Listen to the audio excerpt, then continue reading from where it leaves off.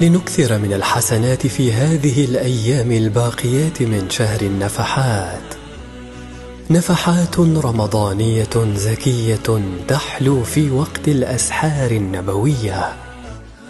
سارعوا إلى رحاب الذكر الحكيم والموعظة البليغة الدالة على الخير العميم.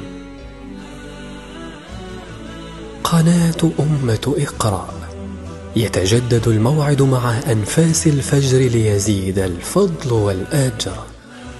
فقرات إيمانية سمعية بصرية متنوعة تهذب فؤادك وتقربك إلى مولاك. كونوا في الموعد وشاركوا هذا الخير مع كل من تحبون. لنكن للخير ناشرين وإليه مرشدين. حياتك أجمل مع أمة إقرأ